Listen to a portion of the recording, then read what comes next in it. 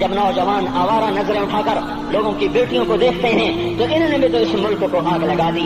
जब नौजवान लड़कियाँ बेपर्द होकर आवारगी के साथ वो बाज़ार में आती हैं उनके लिबास मुख्तसर होते चले जा रहे हैं। क्या इससे पाकिस्तान का नसीब नहीं डूब रहा? इसलिए मैं कहता हूँ, भाइयों, हुकूमत को गालियाँ ना दो। अपने अमल देखो।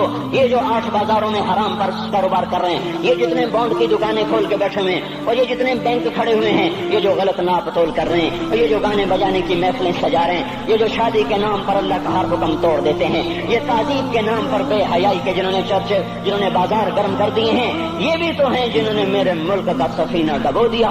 हम हर एक के हाथ में है, हर एक के हाथ में कुल्हाड़ा है और अपने ही हाथों से उस शाख को काट रहे हैं, जिस शाख पे बैठे हुए हैं।